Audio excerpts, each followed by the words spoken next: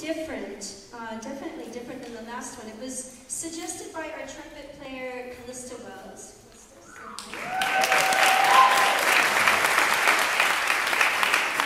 And I sort of shied away from it at first mention because it's a very um, complex tune, it's a difficult tune, it's a long form tune, and it's written by the uh, great uh, jazz guitarist, contemporary jazz guitarist Pat Metheny who a group that is known for doing um, contemporary collaborative group things. He, he, his piano player is the great Lyle Mays. They met while they at North Texas State. And they have a real cosmic connection as far as the way they play and the way they write music together.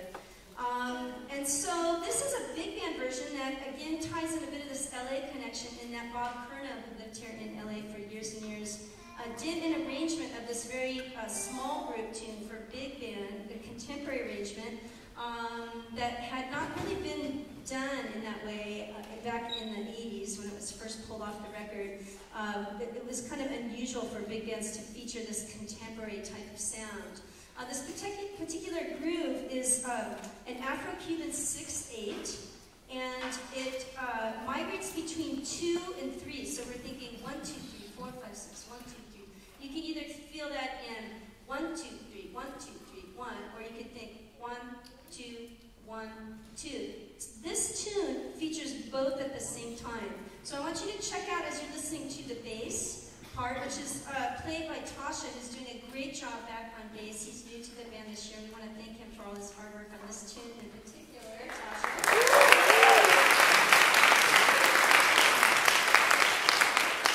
And I want to bring up uh, three folks who uh, we wrote parts for. So come on up, vocalists. And uh, we have three singers uh, who are going to do the parts of the horns. We're going to, I arranged this for them to sing uh, with the horn parts, which is done in um, Pat Metheny's version. The with the guitar and with the piano.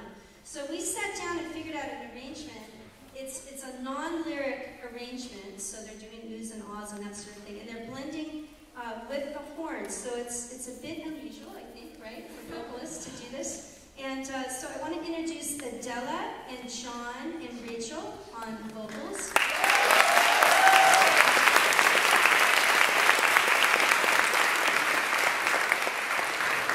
And lastly, this features some fine trumpet work by Dan Gordon and Leo Selker. This is uh, Pat Metheny's Minuano.